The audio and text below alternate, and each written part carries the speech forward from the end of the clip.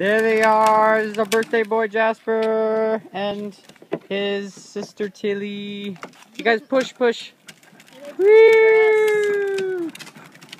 Yay! yeah, yeah, yeah. that is one of the cutest things I've ever seen.